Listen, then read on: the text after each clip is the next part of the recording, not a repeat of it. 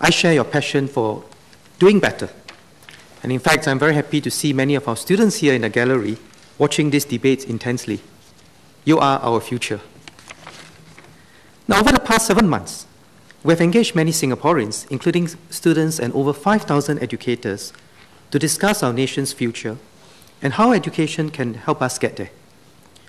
Your voices echo the passion that many of us have heard, many have heard in our Singapore conversation. I've heard many rich and varied discussions firsthand. Through the conversation, many Singaporeans have reaffirmed the strengths of our education system and advocated that we build on them. But many participants also noted that there are areas where we must continue to recalibrate and even to take a fresh approach. Allow me to touch on three areas today.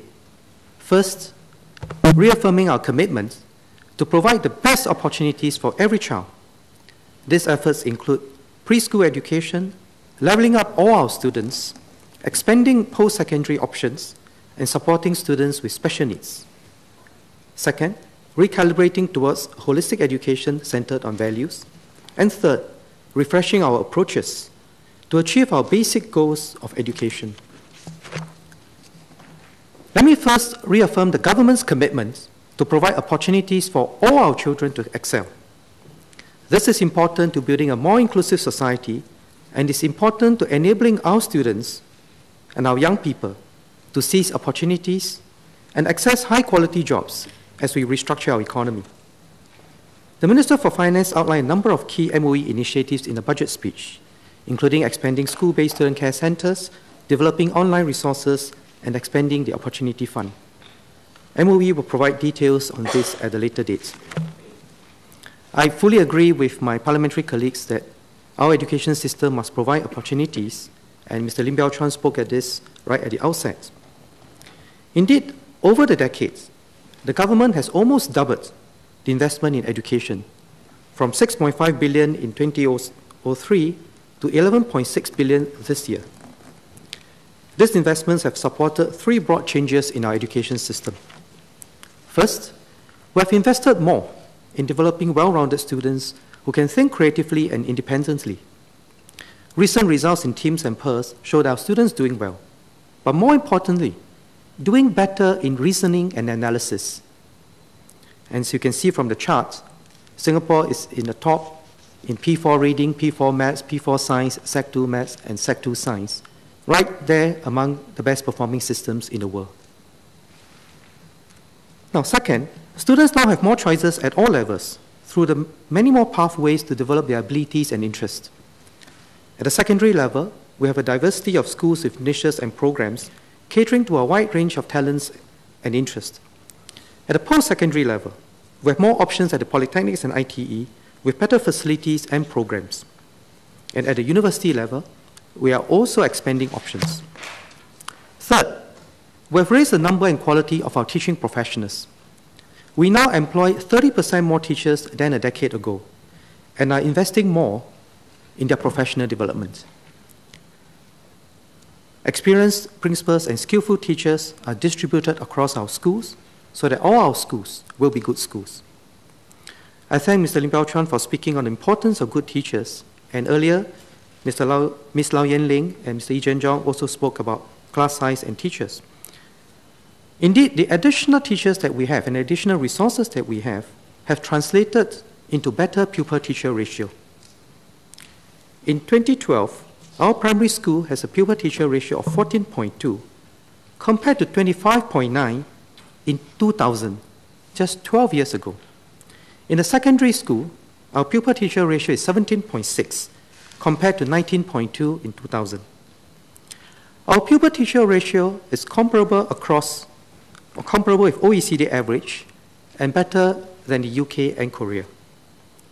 Now I'll touch on how schools are using these additional teaching resources to help students level up.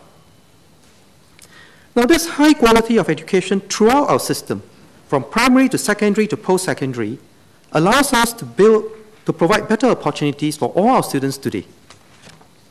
Less than 1% of each cohort do not complete secondary education, compared to 5% just 10 years ago. more than 94% of each cohort progress to post secondary education compared to 86% a decade ago. This is a significant achievement, but is this enough for the future? Today, around 30% of our economically active adults over the age of 50 do not have anything more than a primary school education. Many find it hard to upgrade or retrain for better jobs. As MPs, we see many of our residents in this group seeking help. In the next 20, 30, 40, 50 years, we do not know how the world will turn out. But the best guess is that the pace of change is going to be even faster. So we must take a long term view of education. To enable Singaporeans to continually learn, unlearn, and relearn, every child needs a strong foundation for lifelong learning. MOE will aim for every student in our schools to complete secondary education, and we want our students to then go on to pursue a post secondary qualification. The only way to reach every one of our students in this effort is to ensure every school is a good school, delivering good programs for the majority of our students. On top of this, we must also enhance our efforts to level up our students who may need additional help because we want every Singaporean to succeed. Now, thankfully, we are doing this from a position of strength. In the most recent TIMSS and PIRLS study, an international benchmarking study, only about 1 to 4% of students in Singapore fell below the low benchmark of competence across all grades, primary 4 and secondary 2 and, and subjects. This is significantly better than what we achieved a decade ago, and far better than the international average of 12 to 27%. This is no mean achievement. But 1 to 4% is still too many for us. We must aim to do better.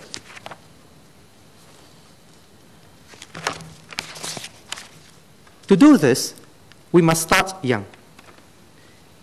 Prime Minister said at the National Day rally in August last year that we will invest substantial resources in preschool education. DPM Tharman also spoke about this in this year's budget speech. Dr. Lily Neo made a strong pitch for good preschool education earlier. Indeed, a good preschool education helps a child to develop self confidence and social skills to nurture values such as sharing, taking turn, and being responsible, to build a good foundation for the learning of languages, and to develop the disposition for learning, such as curiosity and the courage to try new things. Let me emphasize that the value of a good kindergarten education is not in learning academic content. Our children should have a holistic development through a quality kindergarten education. This is especially important for those from the lower income groups who may need more support. To provide opportunities and to enhance social mobility, we must help all our children start well in life. And the government will invest significantly more in preschool. I recognize that many parents have urged the government to nationalize the preschool sector. Many members too. Mr. Zainuddin Nordin had said this as early as a decade ago, and earlier in the earlier budget debates, we heard Mr. Chris de Souza making the same point, and earlier Mr. Nispoa as well. Today, we have a diversified kindergarten and childcare sector, commercial operators, anchor operators, and VWOs. Each brings a certain value. I know of several educators who have set up kindergartens to pursue the deep conviction in the value of early childhood education and have built up innovative programs. I respect their dedication and the diversity and choices they offer to parents. The diversified landscape serves parents well today. Our most important priority now is to work together to raise the quality. Arising from the work of the Implementation Committee for Enhancing Preschool Education, which Minister Chan Chun Sing and I co chair, there are five areas of focus for uplifting the quality of preschool education. Of these five areas, MOE will take the lead in three. First, we'll continue to develop the kindergarten curriculum and educators, resource, educators guides and share teaching and learning resources with operators. This complements the revised curriculum framework for kindergarten. Second, We will leverage on the existing programs in our institutes of higher learning to provide high quality training and professional development for kindergarten level teachers. Third, MOE will run some kindergartens. For a start, MOE will set up 15 pilot kindergartens in the next three years. Five of these will enroll K1 children in January 2014. Some of this will be located in primary schools, some in community sites. All will be within HDB heartlands. These kindergartens will first and foremost provide a quality education that will be affordable to Singaporeans. Our specialists will develop teaching and learning resources and best practices to enhance children's learning. We will also work with other preschool centers that offer good programs to study different approaches. Best practices that are scalable, sustainable, and suitable for the Singapore context will be distilled and shared with other preschool operators to catalyze improvements across the sector. I must emphasize at the outset that this is a pilot program. MOE believes that we can leverage on our resources to provide quality kindergartens and act as a catalyst for the entire sector. Given the growing demand for quality kindergarten, MOE is prepared to go beyond our 15 pilot centers. But how far and how fast MOE proceeds will depend on our experience and assessment of it and the feedback from parents. As it is, MOE has heavy responsibilities, and an expansion into providing affordable, quality kindergartens in the heartlands is a significant undertaking. MOE will not undertake this lightly unless there's strong public support for it, and unless our assessment is that we are creating significant value for parents and children. There are also important logistical and staffing issues that we will need to look into. We will therefore gather the views of the public and the various stakeholders as we formulate plans for the medium term. Meanwhile, MOE and MSF will continue to work together with other operators through the newly formed Early Childhood Development Agency to expand capacity and raise standards while keeping fees affordable for the majority of Singaporeans. We will announce details of the first five locations and admission procedures in about two weeks, and SMS Indranee will provide further details on some of our other efforts, while MSF will elaborate on the other two areas of focus. So I thank Ms. Low Yen Ling for pointing out the many tasks ahead for the Early Childhood Development Agency.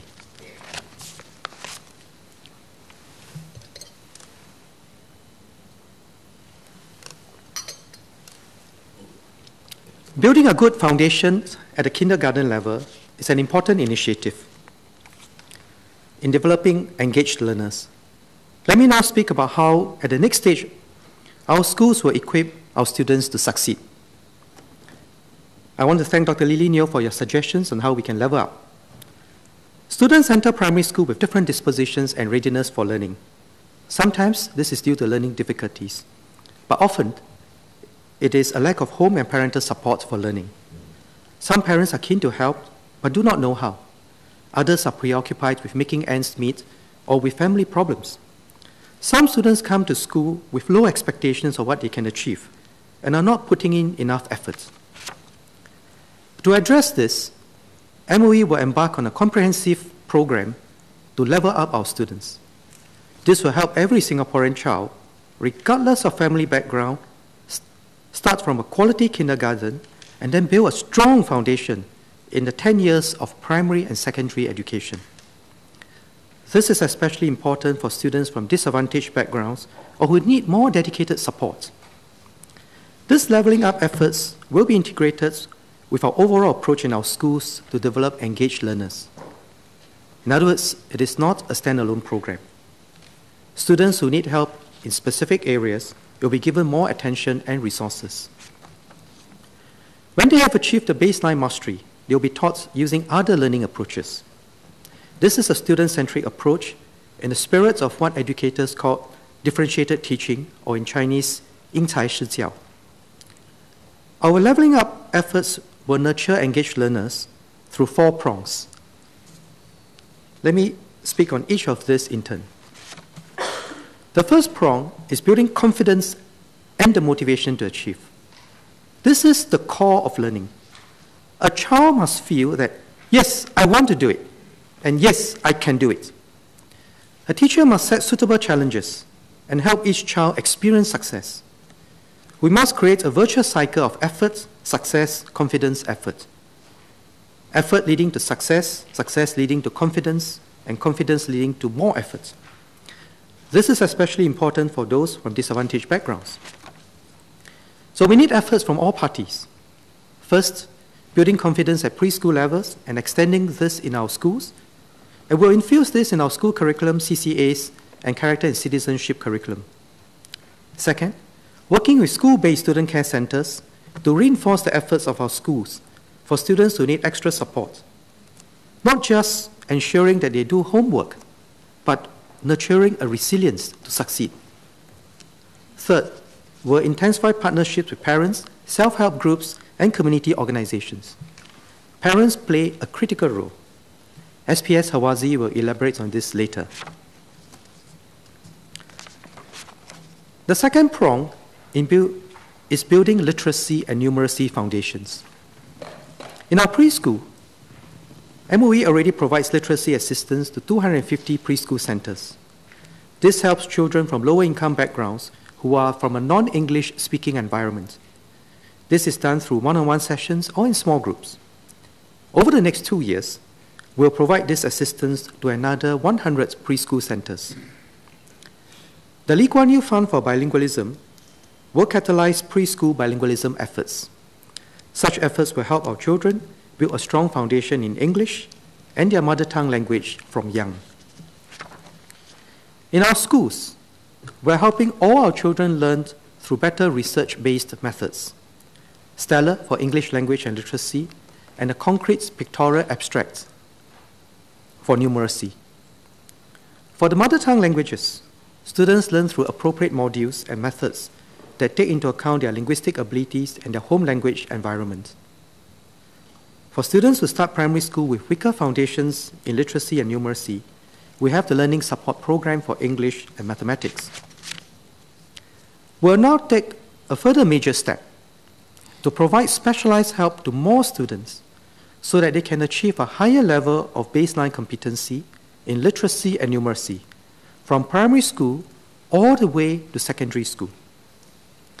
As these students learn in different ways and at a different pace, we will implement several learning programs and novel teaching approaches to engage them. This will level up our students at zero cost to them. Students from lower income families, which many of you have spoken about, will get the extra support they need from our schools. Schools can choose from a menu of approaches and programs. For example, different teaching methods. Learning algebra can be too abstract for many students understanding the meaning and the manipulating expressions with numbers, x and y's, can be challenging. So some teachers are using learning aids like the AlgeDisc that in Bedok View Secondary School. Second approach is to use different teaching arrangements. For children who lack confidence and need more structure, schools may provide small group teaching and break the learning tasks into smaller parts. This is used, for example, to support English literacy at Da Qiao Primary School. Now, a third area is online resources, and Ms. Denise Phua spoke passionately about this earlier on, and I agree with her. In fact, online interactive resources can be used to help strengthen language skills, which can be integrated into uh, our lessons and be accessed by our students in their own time and pace, and that's, uh, that's suited to their learning needs. And we will explore how we can use online resources more extensively. Now, having piloted these approaches in several schools, we'll progressively implement this and other similar initiatives in schools in the next two years. Now, the third prong is skillful teachers. We'll resource our schools with skillful teachers to do this well. Schools with greater need will have more teachers deployed to them. Our teachers will also work with our specialists to constantly improve these programs and approaches through action research and determine the relative effectiveness of each of these for different students. MOE will launch a comprehensive training program for the primary and secondary school teachers will lead this effort.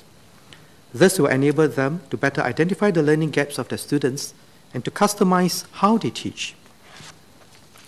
So I fully agree with Dr. Intan's call for MOE to provide specialized training for teachers of NT students. You gave a very passionate account of your teaching experience.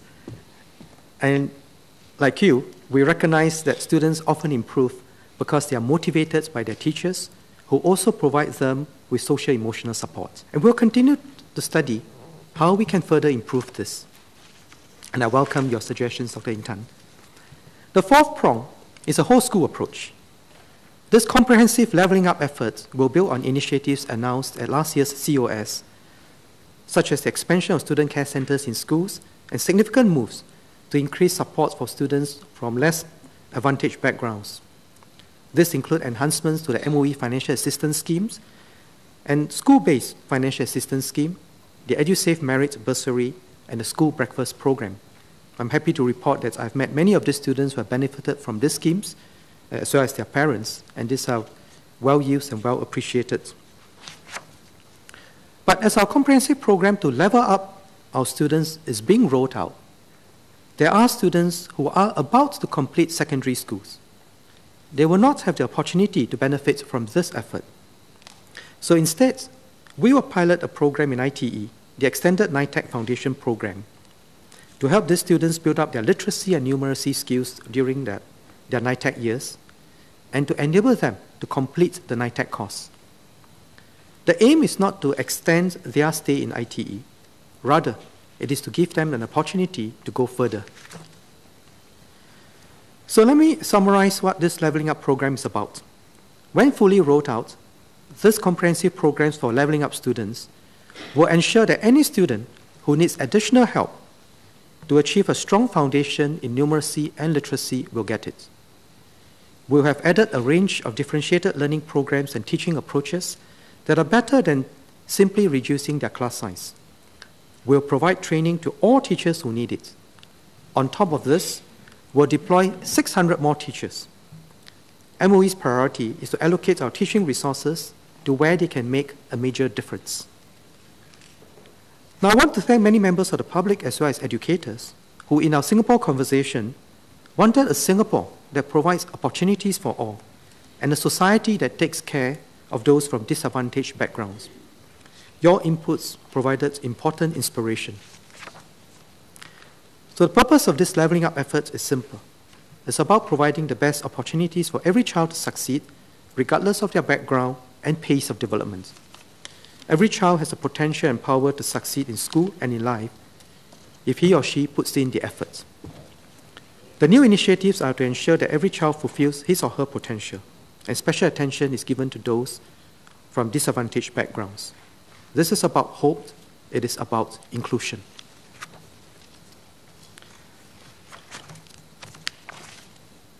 Having equipped our students with a strong foundation, we will continue to do more to ensure a range of attractive options at the post secondary level.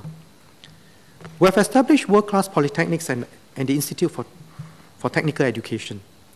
With the opening of ITE College Central in Ang Mo Kio this year, we have completed the transformation of ITE to one ITE system, three colleges.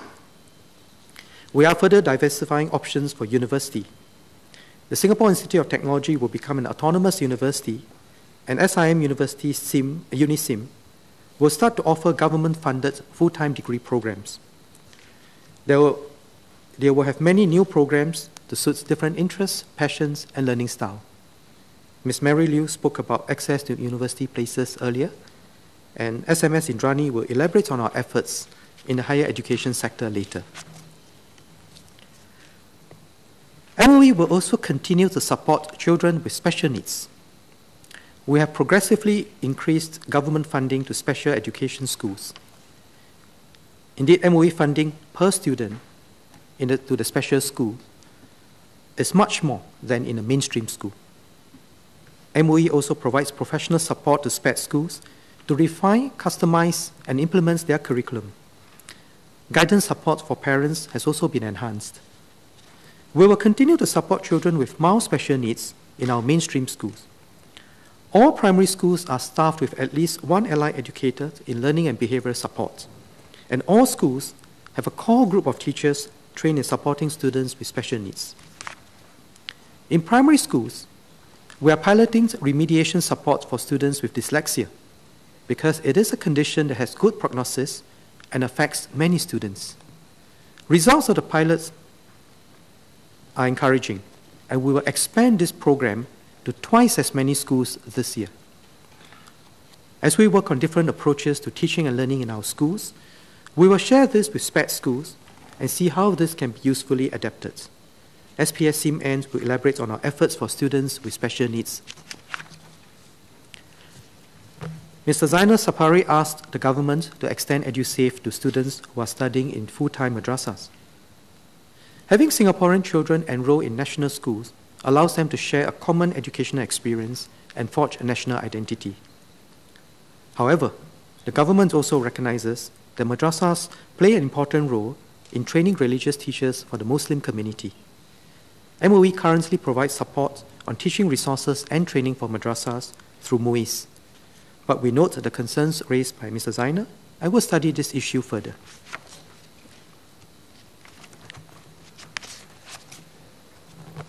Let me now move on to talk about how we need to recalibrate towards holistic education centered on values. Ms. Irene Ng spoke passionately on the importance of values education and that the right attitude lasts a lifetime. I fully agree with you.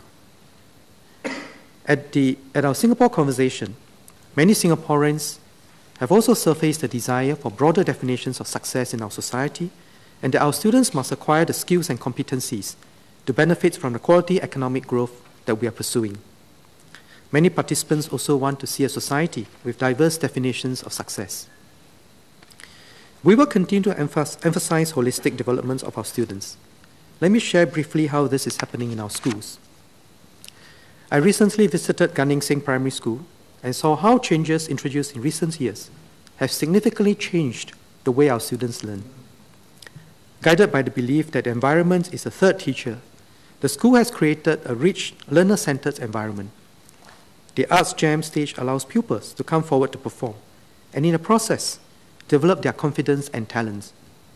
During my visits, students sing with gusto. A big group of students were dancing to the Gangnam style tune in the school canteen during recess.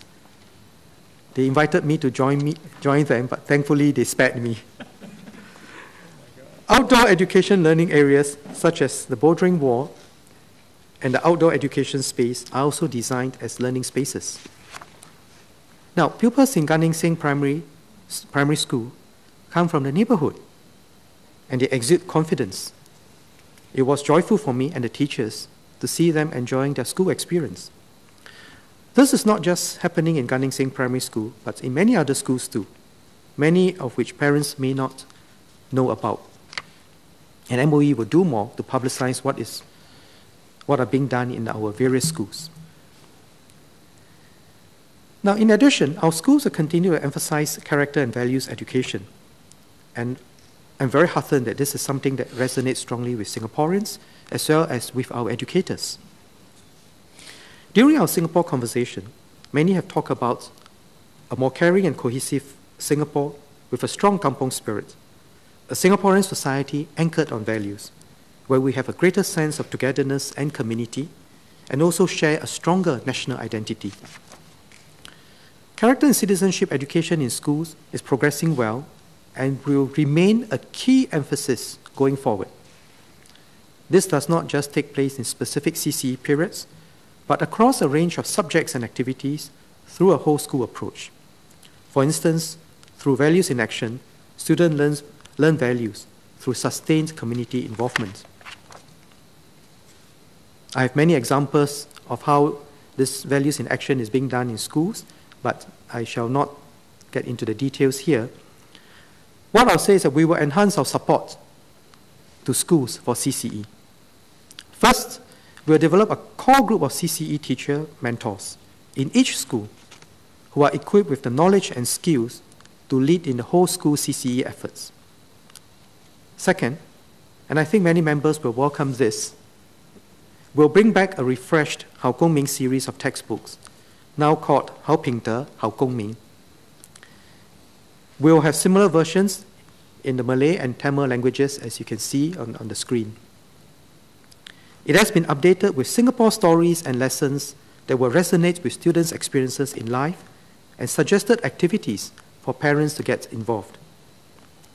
Indeed, parents play a key and decisive role in developing values and character in our children. We will strengthen partnership with parents and the community, and SPS Hawazi will provide an update. A continued focus on CCE will stand Singapore in good stead as we face new challenges together.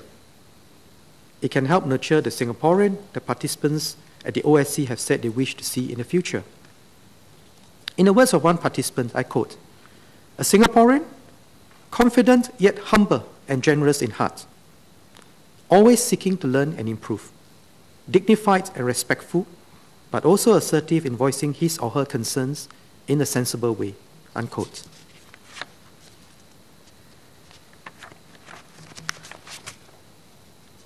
Let me now speak on the theme of refreshing our approaches to achieve our basic goals of education and how we need to get back to basics and look at the fundamentals.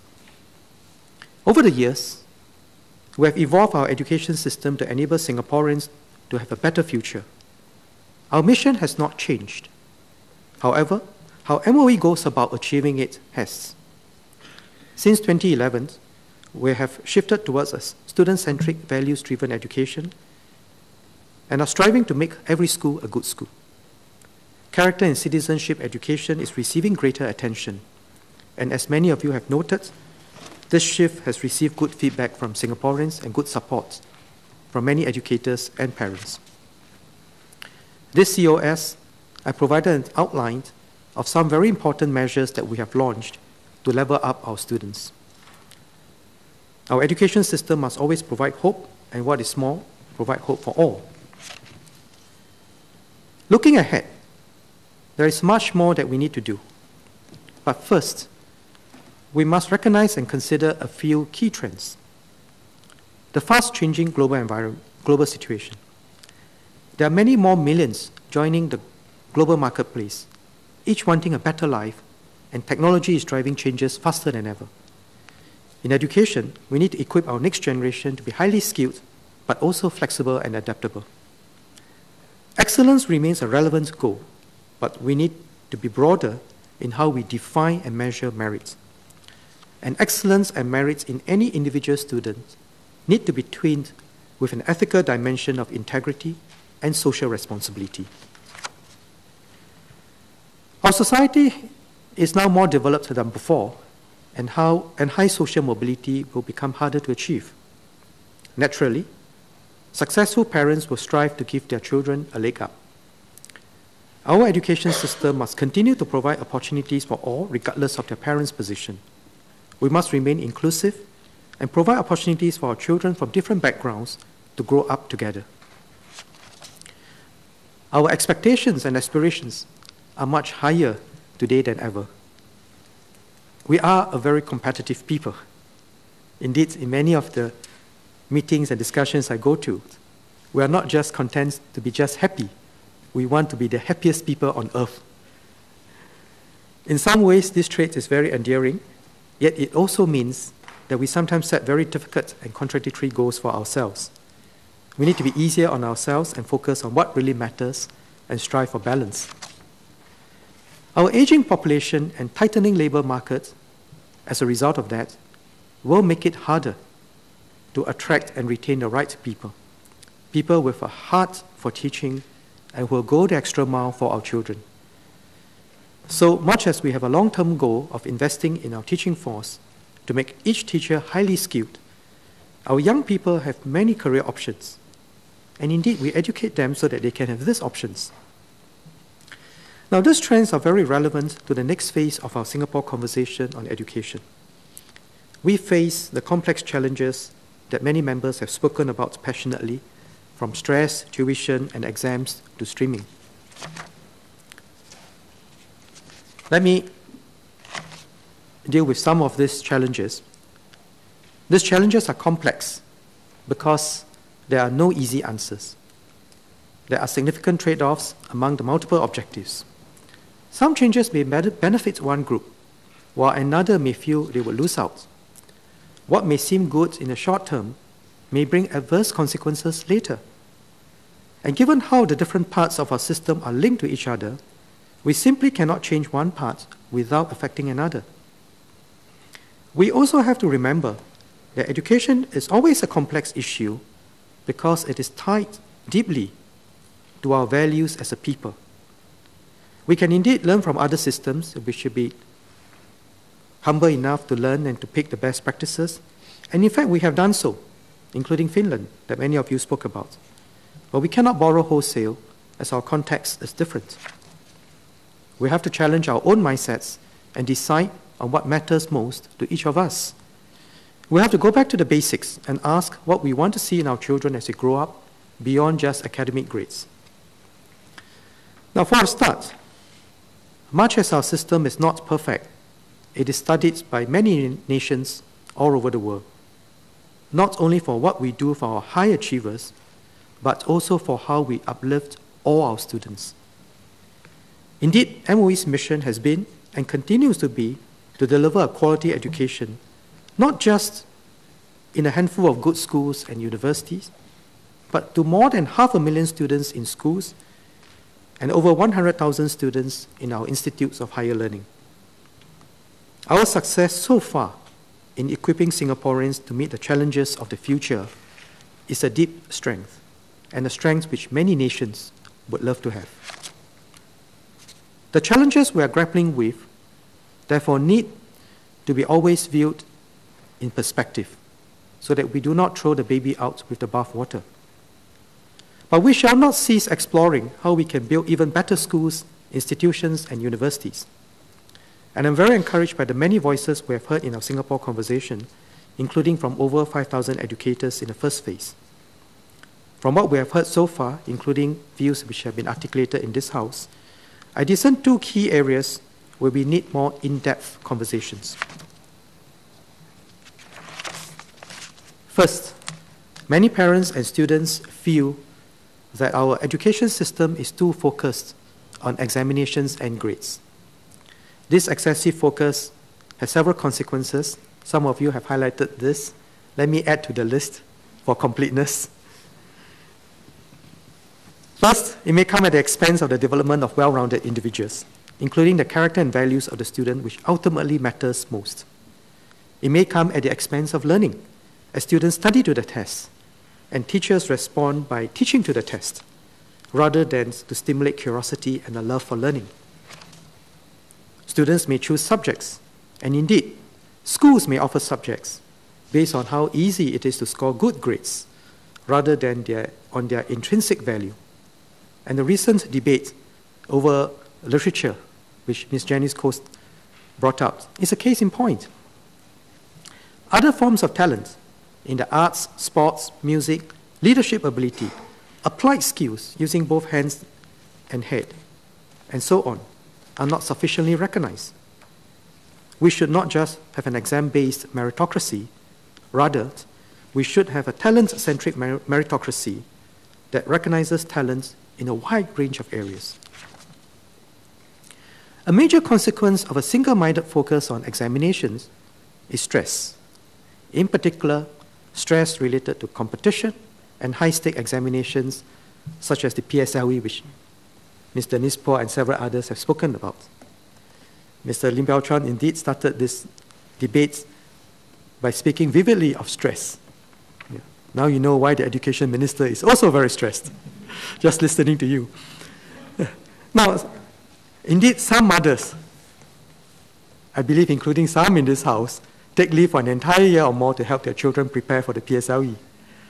Many see entry into top schools as critical to their children's future and prepare their children very early, some as early as kindergartens, and even sending them to two kindergartens.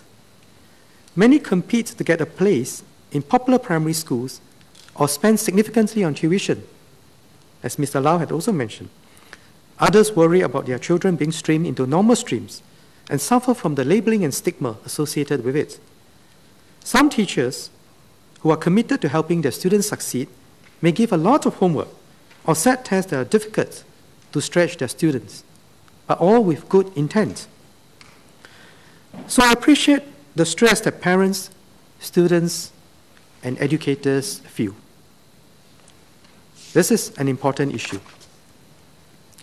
Now, some are also concerned about the effects of competition.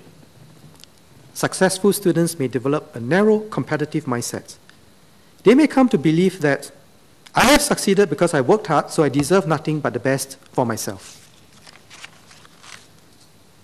So, while there are concerns about high stake exams, I've also heard other views, and there are others who see merit in the current system. Many feel that the current system sets clear standards. Many students have told me that exams challenge them to learn better. Teachers use exams to determine students' mastery of the different subjects and tailor their teaching strategies accordingly. In the public education system, exams provide us with a standardized measure of progression and achievement and ensure accountability across the system to uphold rigorous standards. And in fact, this is one of the reasons why public examination started. Now, it also provides an objective way of determining entry into the next level of education. And in Singapore, exams have helped assure a very high average among our students. And that is why our students, even those who have done, have scored average, perform so well when they go overseas. Now, some countries, such as the UK, Japan, and Korea, and some states in the US that abolished exams or made this easier are now reversing course. Their experience has been that while removing exams was popular and brought short term relief, over time, insidiously, standards fall.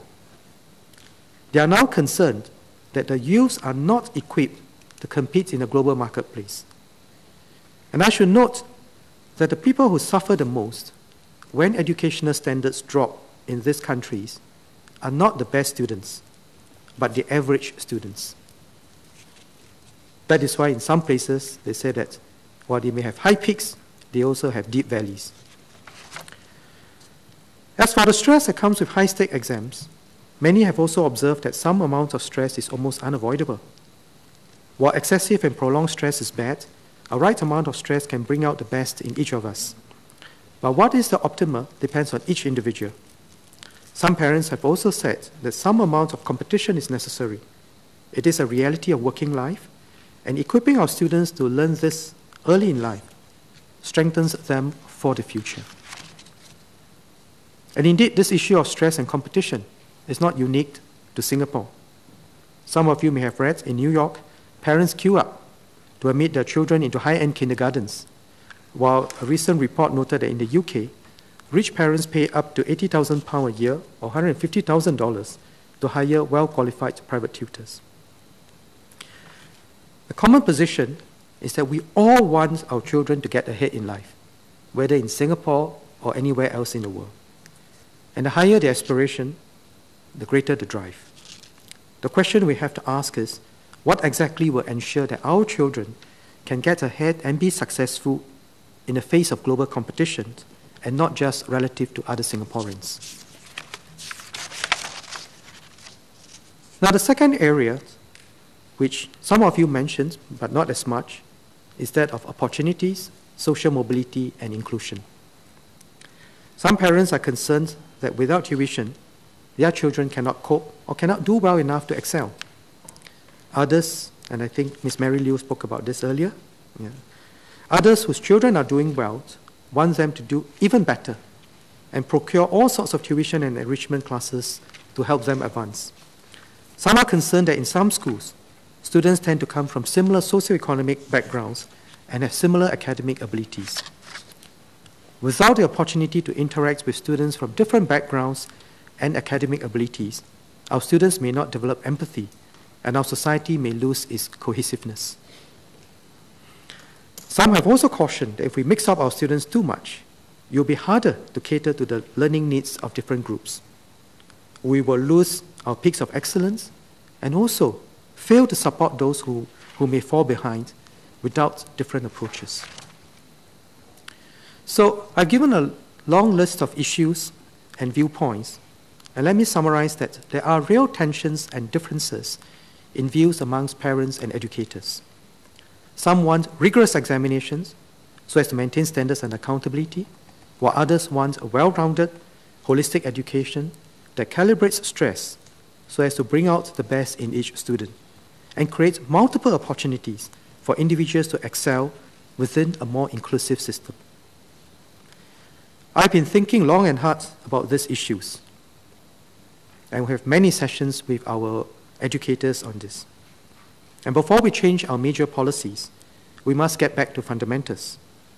First, reaffirm the basic goals of education, and second, in the light of changing circumstances I outlined earlier and the differences in views, the fundamental strategy of how we will achieve these goals. So, in the spirit of the Singapore conversation, let me highlight some ideas for discussion. On the basic goals of education, allow me to highlight a few for, dis- for discussion. We must first and foremost provide opportunities for every child to actualize his or her potential to be the best that he or she can be. And to achieve this, we develop a love for learning, stimulate a lively curiosity about the world around us, and urge to explore and discover. Develop well rounded individuals of integrity and sound character with strong social emotional maturity. Build a strong foundation, especially in self confidence, literacy and numeracy, analytical and inventive thinking, communication skills, and other 21st century competencies, so as to prepare Singaporeans to be lifelong learners and succeed in a more globally competitive environment, and develop the abilities and interests in each child so that he, may, he or she may go on in life to pursue this interest with passion, realize his or her aspirations, and have a fulfilling career. And second, to nurture in each child a sense of responsibility to his fellow human beings and a sense of commitment and loyalty to Singapore and to fellow Singaporeans so that he or she can contribute to taking Singapore forward. To realize these goals, we have to rethink the fundamental approaches in tandem with changes in policy. First, we have to see education as a lifelong journey, not a destination. It is an exciting journey of continual learning, discovery, and mastery, not a competitive sprint. This means learning the right things at the right time. For instance, the early years are about building the disposition for learning and discovery. And we have to do what is developmentally appropriate at different stages of a child's education. Seeking to hothouse our children when they are in kindergarten and preparing them in advance for primary school generates stress and then boredom when they enter primary school. Second, each child is different in interests, aptitudes, and rate of development.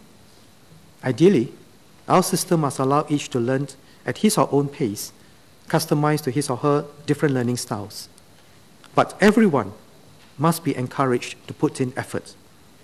Third, we must develop students with a Singapore heartbeat, with empathy for others, a regard for the common group, for the common good, and a shared sense of responsibility for Singapore's well-being and future. So in the next phase of our Singapore conversation, we can discuss the various policy options. For example, the PSLE serves as an objective benchmark for secondary school posting today. So important questions that we need to discuss include how do we maintain our rigorous standards and accountability and whether we can allocate all secondary school places without an objective benchmark like the PSLE. Are there alternative posting systems that are still objective but can minimize the current overemphasis on academic results and enhance social inclusion?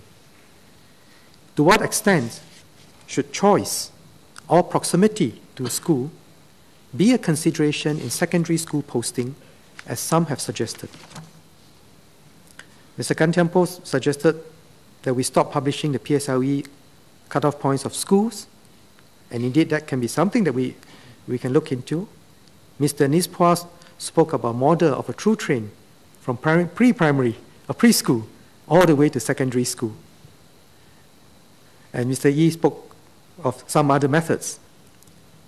Now, let me say that as an, another example, streaming at the secondary level allows us to tailor instruction to the abilities and learning styles of our students. But some have questioned if we should rethink whether streaming is absolutely necessary, as Dr. Intan had said earlier. So important questions to discuss at the next phase is, can we ensure that every child can learn at his or her own pace if there's no streaming? Will our schools be even less diverse if we did not have students from various academic streams? Can we replicate what we have done at the primary level, such as subject-based banding at the secondary level? And that was the specific suggestion of Dr. Intan. Now, all of this can be discussed and debated thoroughly.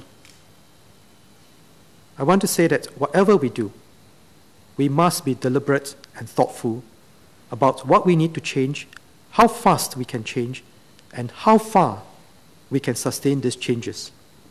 We must have the resources to sustain any change. I've been watching the debates on resources in various countries, and countries that have started with a big bang have had to now have very painful changes in order to cut back. Education is a long term endeavor and always a work in progress. And the results of our action today, good or bad, are evident only many years down the road. So even as we address current issues, we must be as thoughtful as we possibly can. Now, it is also critical for us not to see our education system in isolation. Education alone cannot enable Singaporeans to realize our aspirations. If our society fails, the able will emigrate, and the rest of us will be stuck here in failure. But if we stay and move together, we can succeed together. Education alone cannot give us a good life, and we need to be clear what a good life is. If a good life is simply about getting ahead of others and achieving the five C's, know, cash, condo, cars, credit card, and country club, the competitive pressure in the workplace will define how we as parents and teachers view education. Then no amount of changes in the education system can alter the reality of each of us chasing after material and positional goods. We cannot have broader definitions of success in education without our society accepting broader definitions of success in life. In many respects, the education system reflects societal norms and expectations. So I thank all members, as well as Singaporeans and educators, who have participated in our Singapore Conversation sessions for raising these complex issues. MOE will continue these discussions by organizing focused sessions, and I look forward to hearing further views. Madam Speaker, allow me to sum up.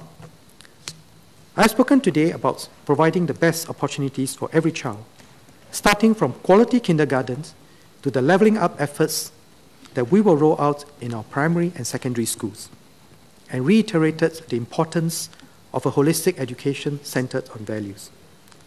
We have built, built up a strong education system to deliver, to develop all our students, and not just a select few, because every child, every Singaporean is precious. And we constantly seek to improve to better nurture our next generation so that they can grow up to become the Singaporeans who will bring about the Singapore we aspire to us. And our children are the change we hope for. So I look forward to many more constructive conversations with my fellow Singaporeans. Thank you.